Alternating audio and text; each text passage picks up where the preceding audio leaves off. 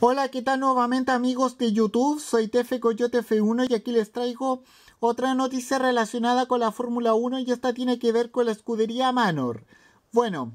el conjunto inglés de Bamburi, Manor, ahora pidió permiso a la FIA para usar eh, sus monoplazas de la eh, anterior temporada 2016 esto debido a que podría no disponer del tiempo suficiente para terminar de construir eh, sus eh, automóviles de la temporada 2017 que va a empezar eh, a fines de marzo en Australia y, esto es en caso de encontrar un, un inversor.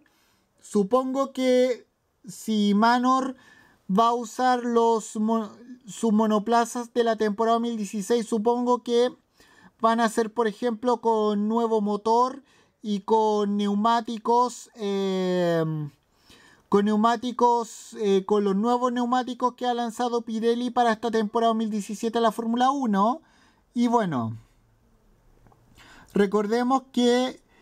eh, así fue más o menos la situación eh, de Manor en el, en el año 2015 por problemas financieros y bueno, eh,